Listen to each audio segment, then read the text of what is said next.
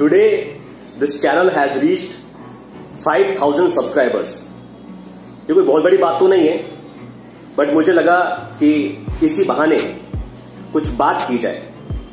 तो first of all I am very thankful and grateful to all those people who arrive at this channel stayed subscribe did not unsubscribe and most importantly build relation with me and with fellow subscribers through Facebook, Instagram WhatsApp group and most and most importantly through in person साथ मिलकर विचारों का आदान प्रदान करके by exchanging experiences and beliefs and perceptions क्योंकि हमारा मुख्य उद्देश्य तो वही है। Fundamentally I am not a YouTuber fundamentally तो मैं समाज का निर्माण कर रहा हूँ। अब चूँकि आज की जो हवा ऐसी है कि ज़्यादातर जो काम है और जो थ्योरीज है जो आइडियोलॉजीज है जो भी न्यूज़ है इवेंट्स हैं वो सब सोशल मीडिया के चलते सोशल मीडिया के ज़रिए प्रोपेगेट होते हैं। वो पहुँचते हैं एक दूसरे तक। वो चाहे इंडिया के लोग हों। अब मेरे चैनल पर इंडिया पाकिस्तान बांग्लादेश नेपाल और अमेरिका के लोग आते हैं तो इन तक मेरी बात पहुँचती है। तो उनका आपस में गठबंधन होता है। लोग एक दूसरे से मिलते हैं, एक दूसरे को जानते हैं। तो इस बात को समझने की ज़रूरत है। Here we are creating a society which is superior in nature and YouTube channel is a medium to connect all those people लेकिन फंडामेंटली मैं यूट्यूबर नहीं हूँ। तो इससे फ़र्क नहीं पड़ता कि मेरे चैनल पर कितने सब्सक्राइबर्स हैं, कितने लाइक्स हैं, और मेरे यूट्यूब से मुझे कितना इनकम हो रहा है। Please understand I started calling this channel a successful channel well before I even reached 500 subscribers क्योंकि समझिए, ये एक मीडियम है। YouTube चैनल फ़ेमस करना मेरा मुख्य उद्देश्य नहीं है। मेरा मुख्य उद्देश्य है कि वास्तविक लोगों से, वास्तविक संवाद हो, वास्तविक लोगों से मैं हाथ मिलाऊं, उनसे मिलूं, उनके साथ उठूं, बैठूं, उनके साथ घूमू, फिरूं, उनके साथ एक अलाय करो, गठबंधन बनाओ प्लीज़ अंडरस्टैंड तो 2016 के एंड होते होते ही मेरे घर पर लक्ष्मी नगर के superior society headquarter F two forty six गली नंबर 22 लक्ष्मी नगर 92 दिल्ली 92 पे ऐसे लोगों का आगमन शुरू हो गया था जिनसे मैं पहले कभी नहीं मिला था।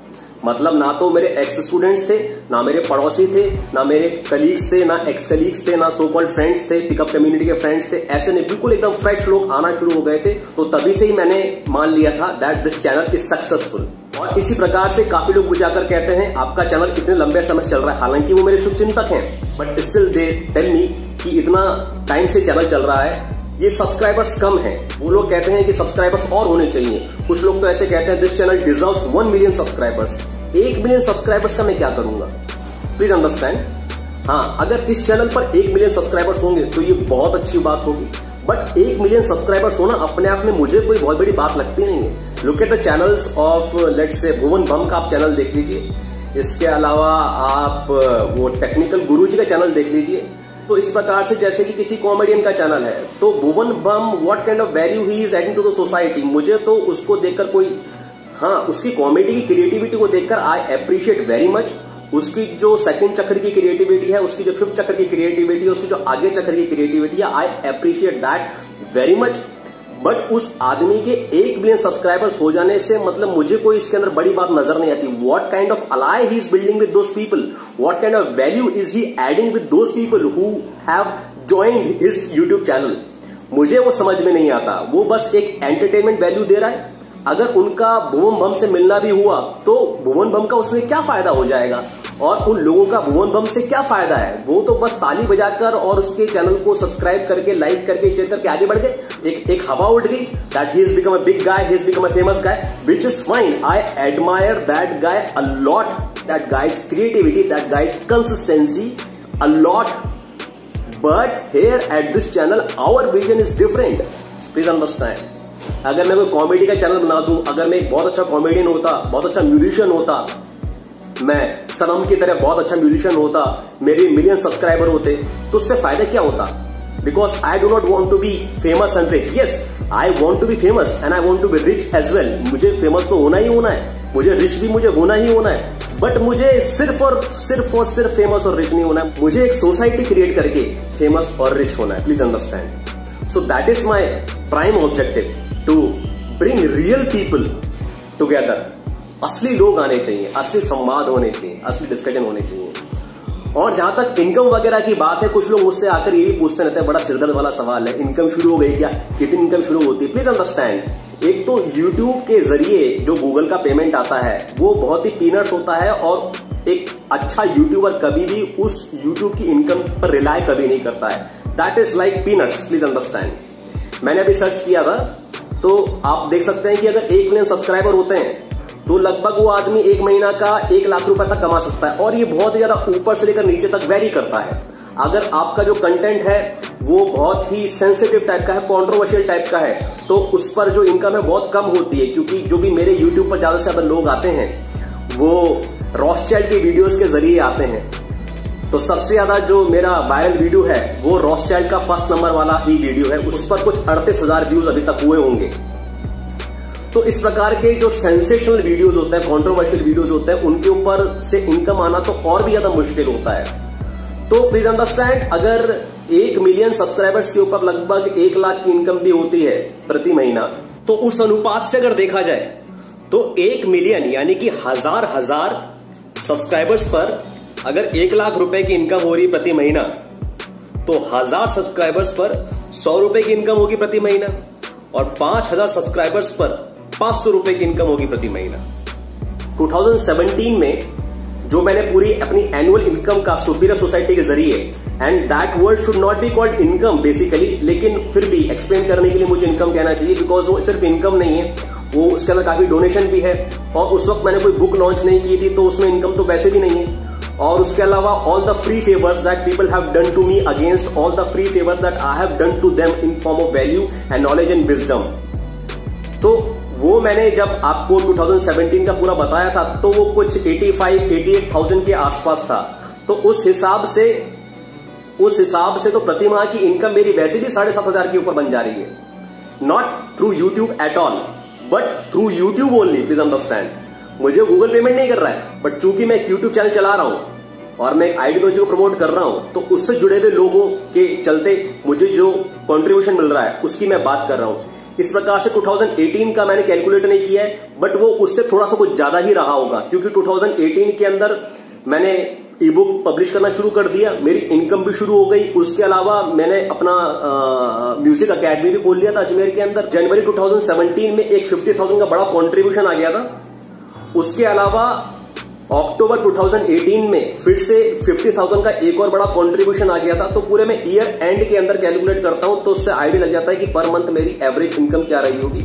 और अभी तो 2019 हाफ़ चल ही रहा है। 2018 का मैंने कैलकुलेट नहीं किया है बट ये 2017 वाले से काफ़ी ज़्यादा रहा होगा।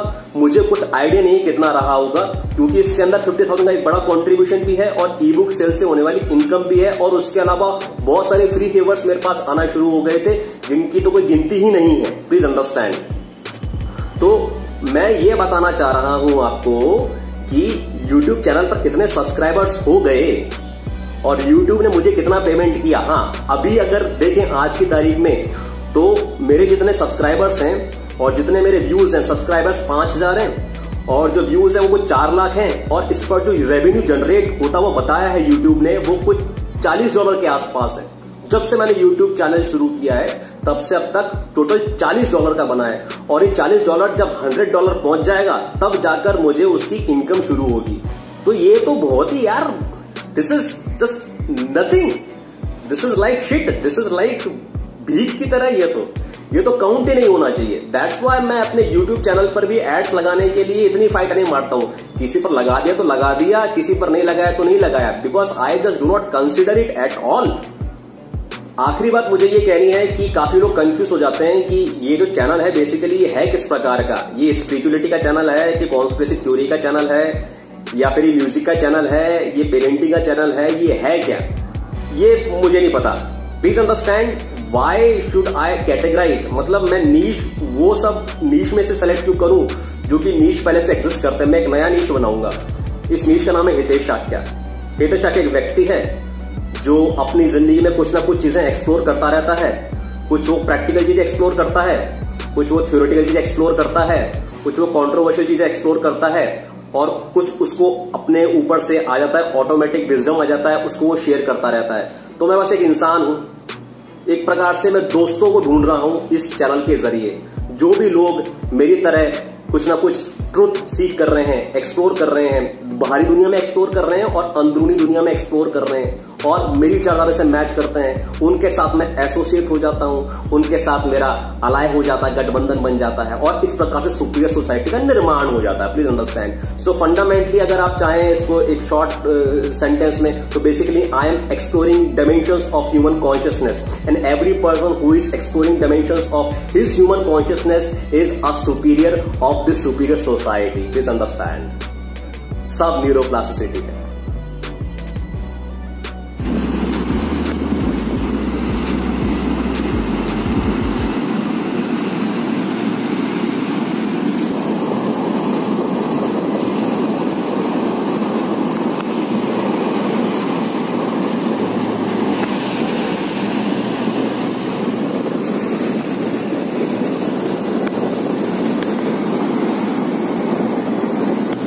આટલી બધી ના કઈ નથી.